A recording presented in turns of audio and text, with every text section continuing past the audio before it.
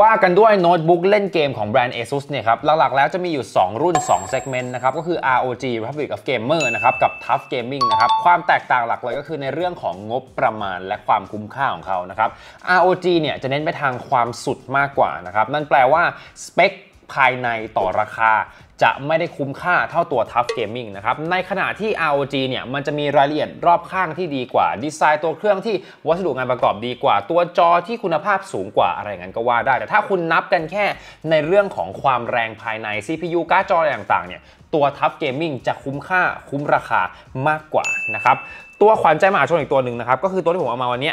Tough Gaming A15 นะครับกับราคาเริ่มต้นประมาณ 40,000 ต้นต้น42,990 นะครับก็จะมีตัวที่มันเป็น Ryzen 7 7735HS นะครับแล้วก็จะมีตัวที่แพงกว่านี้เป็น 7940HS นะครับการ์ดจอมีตั้งแต่ RTX 4050 4060 ไปจนถึง 4070 นะครับซึ่งผมมองว่าทางเลือกที่คุณควรจะซื้อถ้าอยากได้ทางสายกลางนะครับก็จะเป็นตัวที่ผมเอามาที่ 46,990 บาทนะครับเพราะว่าได้การ์ดจอ 4060แล็ปท็อปที่มี video memory 8 gig นะครับ ถ้าคุณงบประมาณไม่ถึงแบบนี้นะครับ ก็จะมีตัว 42,900 นะครับ ตัวนั้นจะได้ 4050 ที่มีวิดีโอเมมโมรี6กิกซึ่งเอาจริงผมคิดว่า6กิกมันอาจจะไม่พอสำหรับการปรับเกมแบบสูงสุดไปอีกระยะเวลายาวๆนะครับ เพราะฉะนั้นผมคิดว่าถ้าอยากจะซื้อ ตัวนี้มองเป็นหลักไว้ก่อนเลยนะครับ ยกเว้นว่างบประมาณคุณจะมากดันไปที่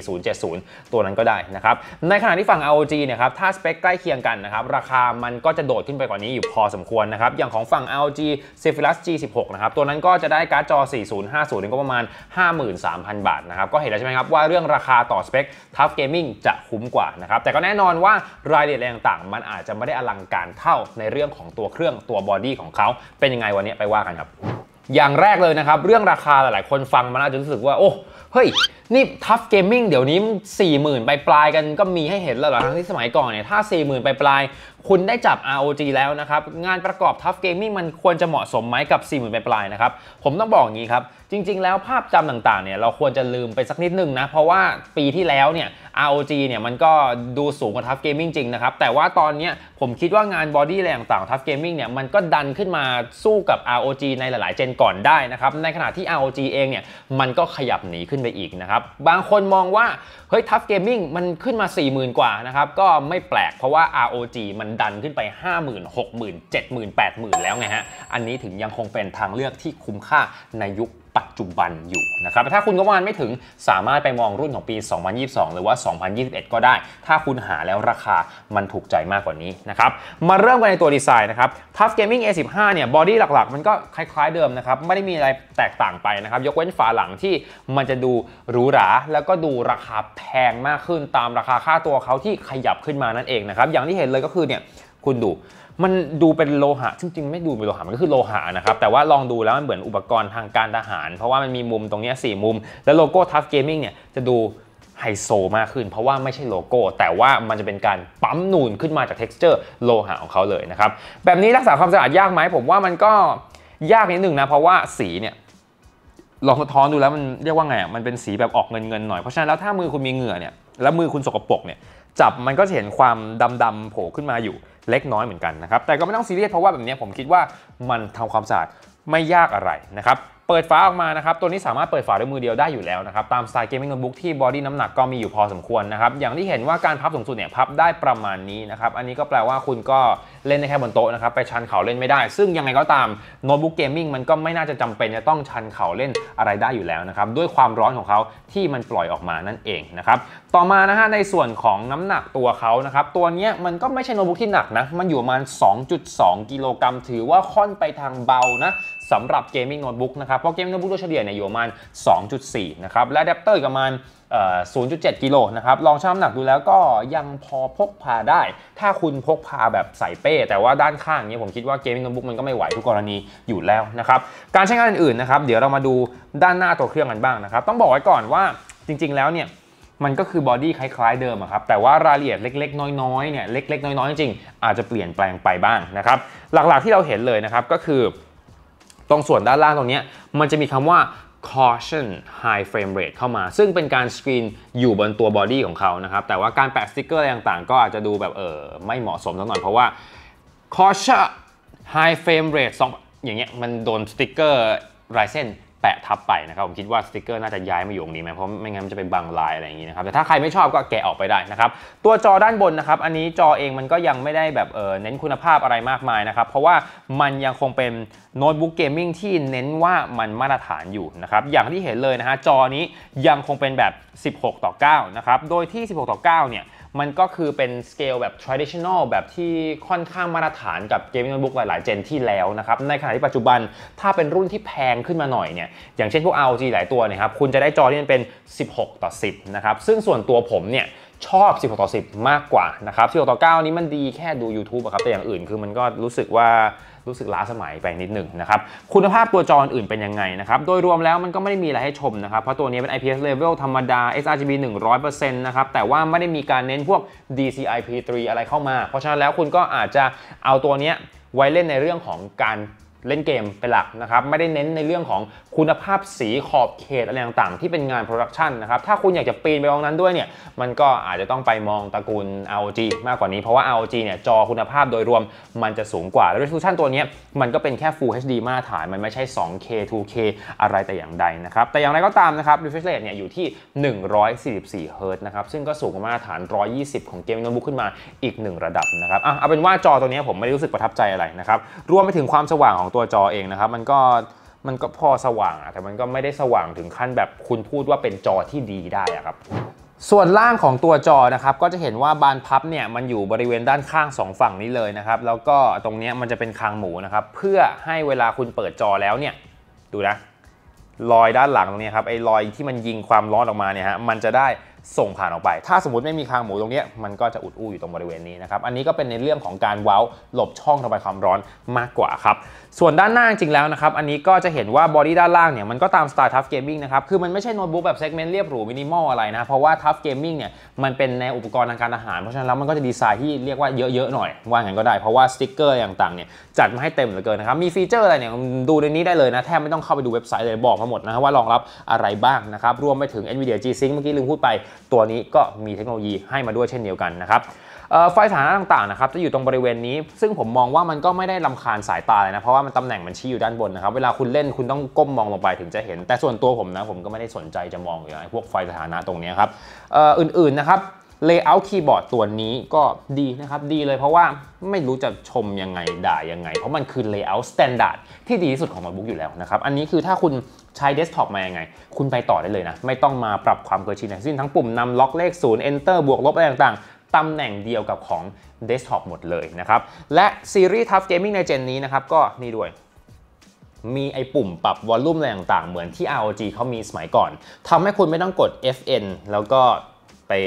คลำหาเออ volume อยู่ตรงไหน อันนี้แหละครับ ง่ายและดีที่สุดแล้วนะครับ เพราะฉะนั้นตัวนี้คีย์บอร์ดผมก็ให้ 10 เต็ม 10 นะครับ ในเรื่องของ layout และการใช้งานจริงนะครับ แต่สำหรับบางคนอาจจะไม่ชอบที่มันมี number pad เพราะว่าการวางมือเนี่ยมันจะเอียงไปซ้ายหน่อย แต่ส่วนตัวผมก็ชอบแบบไม่มีนะ แต่คนส่วนใหญ่บางคนที่เขาเอาไปทำงานด้วยแบบยังคงพิมพ์เอกสารอาจจะชอบแบบนี้มากกว่านะครับนานาจิตตังนะครับดีไซน์ตัวคีย์บอร์ดเองนะครับก็จะเน้นความเป็นแบบ RGB แต่ว่าไม่ใช่ RGB แยกโซนอะไรนะครับ เพราะว่าเป็นโน้ตบุ๊กที่เออก็อย่างอย่างที่บอกเป็น segment ที่มันยังคงรองมาจาก ROG อยู่นะครับ รายละเอียดนะครับ ตรงนี้ผมเห็นว่า WASD เนี่ยมีการเว้นสีไว้นะครับ ก็คือเป็นปุ่มที่มีสีใสกว่าอื่นๆนะครับ จาก gen ที่แล้วมันใสเลยนะครับ และคนบ่นเยอะว่าเฮ้ยมันทำให้ตัวคีย์บอร์ด มันดูรก มันดูแบบเฮ้ยมากไปอะ อันนี้เขาก็เลยแบบยังคงใสแต่ว่ามีการรมดำมามากขึ้นนะครับ เป็นทางสายกลางมากขึ้นประมาณว่า ถ้าคุณไม่ได้จับผิดจริง ๆ คุณก็ยังจะคงเห็นว่ามันเป็นอะไรที่ดูเรียบร้อยอยู่ ถ้าคุณมามองจริงแล้วคุณจะเห็นว่ามันมีสีที่แตกต่างกันอยู่พอสมควรนะครับ จะเห็นชัดในที่มืด แต่ว่าในที่สว่างเนี่ยมันก็ยังคงดูมินิมอลเหมือนเดิมนะครับ Feeling Keyboard นะครับ ตัวนี้ไม่ได้มี Tactile Response มากมายเท่าไหร่ แต่ว่า Stroke ในการกดค่อนข้างลึกนะครับ เพราะฉะนั้นเล่นเกมยาวๆ ไม่ได้เมื่อย แต่ฟินไหมก็ไม่ได้ฟินเช่นเดียวกันนะครับ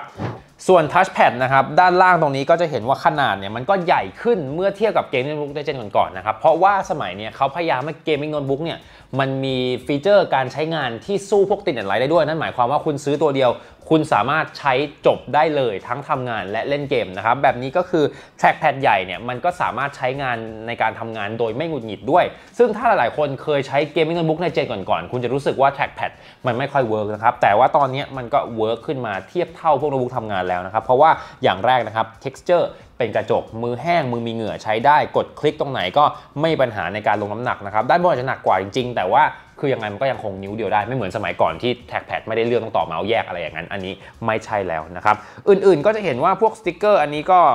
เยอะไปหรือเปล่าแล้วแต่คนจะมองนะครับถ้าไม่เยอะก็ปล่อยไว้ แต่ถ้าเยอะคุณก็ลอกไปซะนะครับ แนะนำว่าถ้าจะลอกก็ลอกช่วงแรกๆนะครับมิฉะนั้นมันก็อาจจะด่างได้ ส่วน texture โดยรวมของตรงบริเวณนี้ มันก็เป็นพลาสติกนะครับ เพราะว่ามันยังคงเป็นโน้ตบุ๊ก TUF Gaming ที่เน้นในเรื่องความคุ้มค่ามากกว่าในเรื่องวัสดุนั่นเอง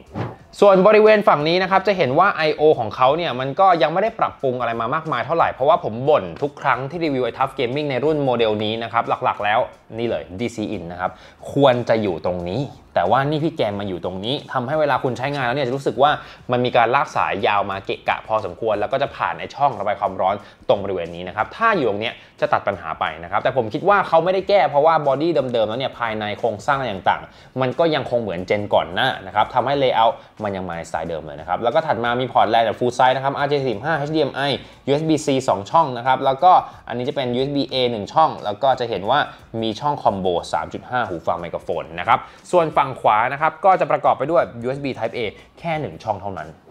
โดยรวมแล้วนะครับ I/O ก็ให้มาตามมาตรฐานนะครับ ไม่ได้เรียกว่าดีอะไรมากนะครับ แต่ว่าเจนของตัว I/O นี่มันก็จะใหม่ขึ้นมานะครับ หลักๆแล้ว USB เนี่ยมันก็จะมี USB 4 อยู่ 1 ช่องนะครับ อันนี้จะเป็นช่องช่องนี้นะครับที่เขามีโลโก้เขียนอยู่นะครับ ซึ่งก็เป็นมาตรฐาน 40กิกะบิตนะครับ มันไม่ใช่ Thunderbolt นะ แต่ว่า USB 4 มันก็ใกล้เคียงครับ มาตรฐานใกล้เคียงกันหมดเลยนะครับ ทั้งความเร็วทั้งการรองรับอะไรต่างๆนะครับ แต่ว่าอันนี้คุณต้องเลือกนิดหนึ่งว่าคุณจะเสียบช่องไหนนะครับ เพราะว่าถ้าคุณต้องการจะชาร์จ PD เนี่ย มันไม่ใช่ช่องนี้นะครับ ไม่ใช่ช่อง USB 4 นะครับ แต่ว่าจะเป็นช่องข้างๆ นะครับ เป็น USB Super Speed 10 กิกะบิตนะครับ อันนี้รองรับการชาร์จ PD แล้วก็ Display Port Output มีรองรับ G-Sync ออก Display Port ตัวนี้ได้ด้วยเช่นเดียวกันนะครับ เพียงแค่ช่อง USB 4 เนี่ย มันได้แค่ 40 กิกะบิตเฉยๆ แต่ว่า Full Function มันยังไม่ใช่นะครับ อื่นๆ ก็ไม่ได้มีอะไรพิเศษนะครับ นอกจาก HDMI ที่เป็นเวอร์ชัน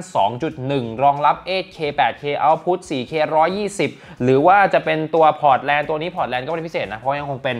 RJ45 กิกะบิตธรรมดาครับ ลองดูด้านล่างกันบ้างนะครับหลักแล้วนะครับ ก็จะมีช่องตรงนี้ที่เป็นลำโพงนะครับลำโพงตัวนี้ TUF Gaming ก็ยังคงด้อยกว่า ROG เช่นกันนะครับ อันนี้แหละรายละเอียดเล็กๆน้อยๆที่ผมบอกไงว่าตัว ROG ที่มันแพงกว่า มันจะดีกว่านะครับ ROG เดี๋ยวผมยอมรับว่าเสียงดีทุกตัวนะครับ แต่พอเป็น Tough Gaming แล้วเนี่ยมันก็แล้วแต่คุณว่าคุณซีเรียสหรือเปล่า แต่ส่วนตัวผมว่าเสียงไม่ได้ดีนะครับความดังทำได้ดีนะครับเสียงกลางก็มีเสียงแหลมประกายไหมก็ไม่ประกายเสียงเบสเนี่ยแทบจะว่าไม่มีเลยก็ได้เช่นกันนะครับส่วนด้านล่างอื่นๆนะครับจะเห็นว่า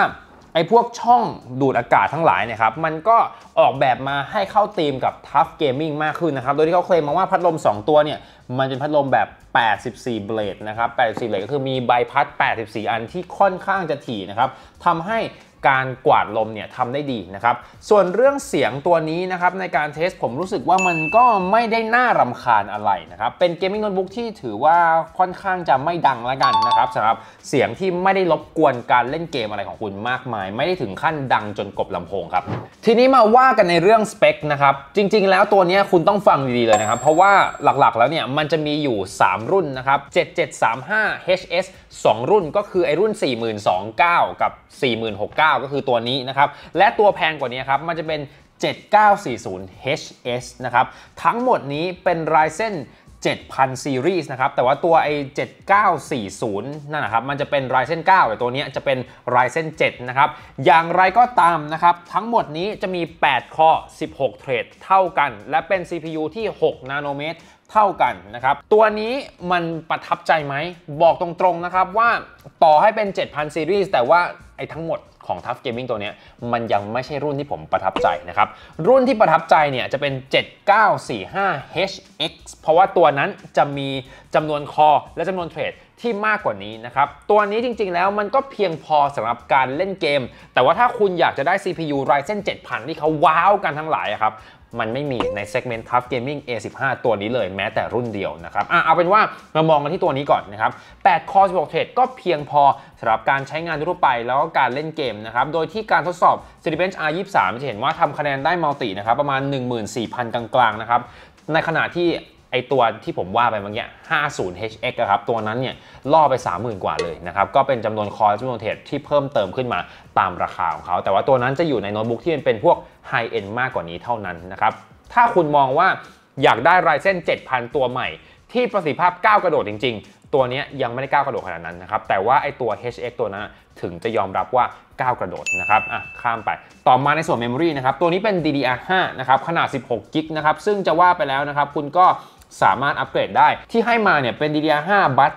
4800 เป็นแรมแถวของทางซัมซุงนะครับ ถ้าคุณไม่พอใจขนาดนี้ถอดเลยครับ เปลี่ยนใส่ 32กิกได้สูงสุดเข้าไปแทนก็คือแถวละ 16 จะว่าอย่างนั้นก็ได้ แต่ว่าจากการเล่นเกมทั่วไป และสเปคเครื่องประมาณนี้ ผมว่าที่ให้มาประมาณ 16กิกก็พอเหมาะสมแล้ว ยกเว้นว่าคุณต้องการทำงานที่มี memory มากขึ้นกว่านี้จริง ๆ ถึงจะเป็นกรณีเดียวที่คุณควรจะเปลี่ยนแรมนะครับ ต่อมาในส่วนกราฟิกนะครับ มันก็จะมีกราฟิกตามสไตล์ของตัว on CPU ก็คือ Radeon กราฟิกที่มันเป็นแบบ on CPU แล้วก็จะมี GeForce RTX 4060 เข้ามานะครับ โดยที่ 4060 เนี่ย มันก็เป็นเรียกว่าไงอะ เป็น mid range ละกันนะครับสำหรับ gaming notebook นะครับ ถือว่าเป็นรุ่นที่ผมยอมรับได้สำหรับการซื้อไปแล้วใช้งานได้ไม่หงุดหงิดนะครับ 4050 ได้ไหม ได้ แต่ผมจะหงุดหงิดสักหน่อย เพราะว่าด้วยความที่ไอตัว VRAM ของเขาเนี่ยแค่6กิกนะครับ แต่ว่าไอตัวเนี้ยมี VRAM ขึ้นมาที่8กิกทำให้คุณใช้งานแล้วอาจจะรู้สึกว่าสบายใจขึ้นมาหน่อยละกัน จะว่าอย่างนี้ก็ได้นะครับ โดยที่กำลังไฟสูงสุดโดยรวมเนี่ยจะทำได้ที่ 140 วัตต์ครับส่วนของ 3D Mark นะครับ อันนี้ก็เป็นการทดสอบประสิทธิภาพโดยรวมของเครื่องนะครับ โดยเน้นกราฟิก แต่ว่าพวก CPU ต่างๆ มันก็จะเข้ามาเกี่ยวด้วย เพราะว่ามันเป็นคะแนนของทั้ง System นะครับ พอ Real จะเป็น Real Time Racing นะครับ แล้วก็ในส่วนของ Fire Strike เป็น DX11 Time Spy เป็น DX12 นะครับ Resolution ต่างๆ ก็ขึ้นอยู่กับไอ้พวกรุ่นธรรมดา Ultra หรือว่า Extreme แบบนี้นะครับ โดยรวมตัวนี้ segment หลักๆของเขานะครับ จากที่เห็นนะมันก็ปีน 2K ได้บ้าง แต่ว่าโดยรวมแล้วก็ยังคงเป็น Full HD ตามรายละเอียดของตัวเครื่องเขานั่นแหละฮะ แล้วมาลองเล่นเกมกันบ้างนะครับ ผมก็ลองเฉพาะเกมที่ใหม่ๆ ตรงนี้นะครับแล้วยังมีคนเล่นกันอยู่อันแรกเลยนะครับ ก็คือ Cyberpunk 2077 นะครับ อันนี้ก็จะปรับได้แค่ Full HD นะครับ ผมปรับสุดทุกอย่างนะ แต่ว่าด้วยความที่จอเนี่ย มันให้แค่ Full HD นะครับ เราเปิดอันแรกนะครับ ก็คือ Ultra ปรับสูงสุด แต่ว่าไม่ได้มี feature อะไรเข้ามานะครับ อันนี้ได้ 80 เฟรมโดยเฉลี่ยก็ถือว่าเล่นได้สบายๆนะครับ ต่อมา เปิด Ultra และก็ Ray Tracing เข้าไปด้วยนะครับ ร่วงมาเหลือ 35 เฟรมโดยเฉลี่ยไม่ไหวนะครับ Ray Tracing เกมนี้ค่อนข้างจะหนักหน่วงมาก ๆ นะครับ เพราะฉะนั้นแล้วถ้าคุณอยากจะเล่น Ray Tracing เนี่ย เปิด DLSS Frame Generation หรือว่า DLSS 3 เข้ามาช่วย เฟรมกระโดดขึ้นไปถึง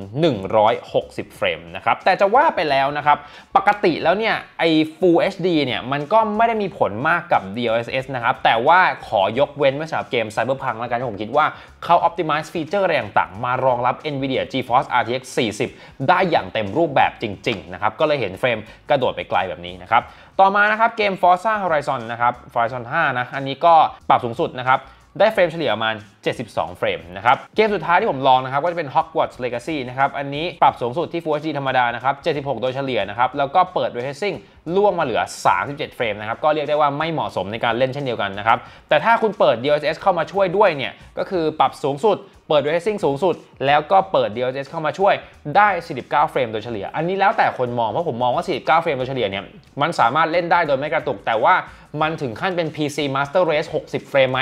มันก็ยังคงไม่ใช่ อาจจะมี 60 บางจังหวะ แต่คุณแค่อยู่เฉยๆมันก็คงไม่ได้ประโยชน์อะไร แต่ถ้าคุณบวกมอนสเตอร์อะไรต่างๆ มันก็จะมีลดลงไปกว่านี้อีกนะครับ เพราะฉะนั้นแล้วถ้าคุณเป็นคนที่คลั่งไคล้ตัวเลข 60 เนี่ยครับ อันนี้ยังถือว่าไม่ได้ในกรณีที่คุณเปิด Ray Tracing ฮะ อย่างไรก็ตามนะครับ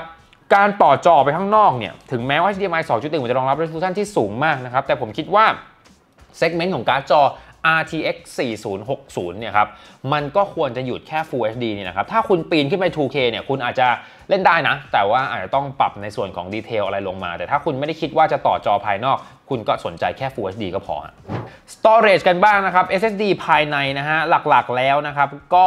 จะมีไอตัวเริ่มต้นกับตัวนี้ที่ให้ 512 กิกมานะครับ จากที่ทดสอบนะครับ ก็ได้ความเร็วมา4,000 กว่า ค่ารีดแล้วค่าไร้วัน 1,800 กว่านะครับ ก็เป็น PCI 4นั่นแหละ แต่ว่ามันก็ยังไม่ได้แรงถึงขั้นประทับใจนะครับ เพียงแค่ว่าถ้าคุณไม่ได้บ้าเบนช์มาร์กหรือว่าโอนถ่ายไฟล์ขนาดใหญ่ตลอดเวลา เท่านี้มันก็เรียกว่าเหลือเฟือมากๆแล้วนะครับ แต่ถ้าคุณยอมจ่ายเพิ่มไปเอาตัวแพงสุด FA 507 XI เนี่ยครับ ตัวนั้นก็จะได้ SSD ที่เป็น1 t เข้ามานะครับ ส่วนตัวผมคิดว่า 512 ที่ format แล้วเหลือ 476 แบบนี้มันไม่พอนะสำหรับการเล่นเกมเพราะว่าผมตีซะว่าคุณลงเกมได้แค่ 3 เกมเท่านั้นนะครับ และพื้นที่ใน Windows คุณก็แทบจะไม่เหลือแล้วนะครับ อันนี้คือไม่นับโปรแกรมอื่นๆที่คุณลงนะ แต่ถ้าคุณคิดว่า คุณจะใช้งานจริง ๆ ผมมองว่ายุคนี้นะครับด้วยขนาดเกมแบบนี้ขนาดซอฟต์แวร์แบบนี้1เทควรจะเป็นมาตรฐานระดับเริ่มต้นสำหรับโน้ตบุ๊ก gaming แล้ว ก่อนจะไปสรุปกันนะครับ ถ้าใครชอบคอนเทนต์แนวนี้นะฮะก็อย่าลืมกดไลค์กด Subscribe และสั่นกระดิ่งให้ผมด้วยครับ โดยรวมนะครับสรุปสำหรับตัวนี้ที่ผมคิดว่าคุ้มที่สุดก็จะยังคงเป็นไอตัว 46,990 ตัวนี้นะครับ ตัว 42,000 โอเคไหม42,990 ตัวนั้นผมคิดว่าคือการ์ดจอมัน แรมน้อยไปหน่อยนะครับ ก็อาจจะทำให้คุณเล่นเกมยาวๆมากไม่ได้นะครับ ในที่นี้ก็พูดถึงว่าวันนี้มันก็เล่นเกมได้นะ แต่ว่าถ้าคุณหวังว่าจะใช้โน้ตบุ๊กตัวนี้ข้ามปีไปปีหน้าอีก 2 ปีนู้นเนี่ย ผมคิดว่าตัวนี้ควรจะเป็นตัวที่คุณเลือกนะครับ เพราะว่า RTX 4060 มันก็ให้พื้นที่หายใจมากกว่า RTX 4050 อยู่พอสมควรนะครับ และทีนี้ถ้าคุณคิดว่าจะเพิ่มงบไปเอาตัวบนกว่านี้ล่ะ มันคุ้มไหมนะครับ อันนี้ผมก็ตอบอีกทีนึงนะครับ ตัวบนกว่านี้คุณได้7 940HS นะครับ ได้การ์ดจอ 4070 นะครับ แล้วก็ได้จอที่อัปเกรดขึ้นมาเป็น 2K นะฮะ แล้วก็จะได้ SSD เป็น1 t b นะครับ แต่ว่าอย่างไรก็ตามนะครับ ราคาคุณฟังดีนะ ตัวนี้ 46990 นะครับ ถ้าเพิ่มเป็นตัวที่ผมบอกเนี่ย 60990 นะครับ Tough Gaming 61,000นะครับ ก็คือสเปคมันก็ดีกว่าจริง แต่ผมคิดว่า มันอาจจะยังไม่ได้ดีกว่าถึงขั้นที่คุณจะยอมจ่ายเลขแบบ 60,000 กว่าบาทสำหรับ TUF Gaming นะครับแต่ว่าอันนี้มันก็แล้วแต่มุมมองคุณนะครับ เพราะว่า 60,000 กว่าบาทของ TUF Gaming เองเนี่ยสเปคมันก็จะดีกว่า ROG ใน range ของ range เดียวกันนะครับ ประมาณว่า ROG 60,000 เนี่ยคุณแทบจะไม่ได้อะไรเลยก็ว่าได้นะครับ ถ้าคุณไหวที่ 60,000 ต้องการเน้นสเปคเป็นหลัก คุณอาจจะไปมองตัวนั้นนะครับแต่สำหรับผมผมคิดว่างานประกอบ body อะไรต่างๆ แบบนี้ฮะตัวจอที่คงเป็น 16 ต่อ 9 อะไรอย่างเงี้ยครับ 60,000 อาจจะยังไม่ค่อยคุ้มทำให้ผมมองว่าไอตัว 46990 ตัวนี้เป็นอะไรที่โอเคที่สุดในเซกเมนต์3ตัวเลือกที่ผมว่ามาตรงนี้นะครับ แต่ก็นานาจิตตังนะ แค่ความคิดของผมเฉยๆ เพราะว่าจริงๆ แล้ว ASUS เขาก็ออกแบบมา 3 รุ่นให้คุณเลือกตามงบประมาณที่คุณเหมาะสมที่สุดของคุณอยู่แล้วนะครับ การใช้งานอื่นเป็นยังไงนะครับผมคิดว่า AMD Ryzen ตัวใหม่เนี่ยมันก็ไม่ร้อนนะครับ Ryzen 9 7000 Series ถึงแม้ว่ามันจะไม่ได้น่าประทับใจเหมือนในตัวที่มันเป็น 32 เทรดก็เหอะ ตัวนี้คือมันก็ใช้งานเล่นเกมได้ไม่ได้มีปัญหาคอขวดอะไร อุณหภูมิก็แตะสูงสุดที่ประมาณ 95 องศาเซลเซียสนะครับ ไม่ได้มีการ Thermal Throttle อะไรนะครับ ตัวนี้มันก็ Throttle ที่ประมาณ 100 กว่าๆนะครับ แต่ว่าอย่างไรก็ตามมันก็ใช้งานได้แล้วนะครับ ไม่ได้มีข้อติอะไรให้ว่ากันมากมายนะครับ ในส่วนแบตเตอรี่นะครับก็ไม่ได้แย่เช่นกัน ปกติแล้วเนี่ยโน้ตบุ๊กที่มันเป็น CPU AMD ในส่วนของฝั่ง gaming ผมแบบ เซ็งทุกตัว เอามาใช้แล้ว power profile นี่แบบแบตนี่นึกว่าเททิ้งนะครับไหลไหลไหลแต่พอเป็น 7,000ซีรีส์รู้สึกว่ามันเหมือนมีการแบบ optimize ต่างๆออกมาให้